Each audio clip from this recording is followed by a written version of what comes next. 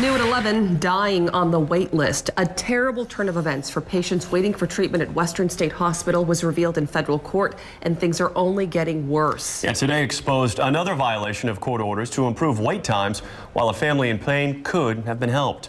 KOMO investigator Jon Humbert was the only reporter in that courtroom today.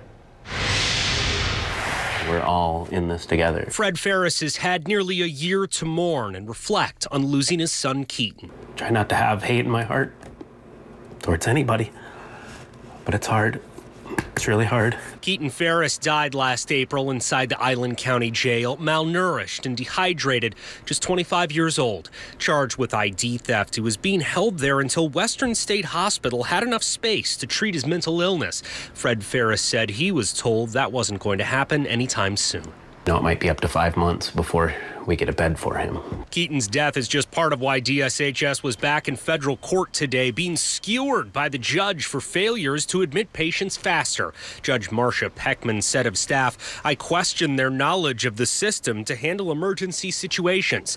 Attorney Emily Cooper sued the state on behalf of the mentally ill left in jail waiting for treatment. It's not even a compliance, it's, it's getting worse. Cooper said she was stunned the rate for mandated seven day waits for evaluations is actually rising. 55% of patients have to wait longer than that. It was not only surprising, it was disingenuous when the hospitals keep that data.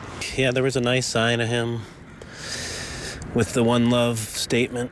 And that backlog makes the Keaton Farris case all the more difficult and painful for Cooper. He was supposed to get help, but Cooper says bureaucracy got in the way.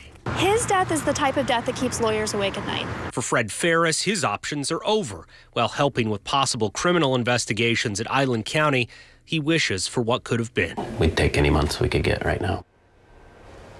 The judge could impose new fines. The agency's progress will be evaluated again next month.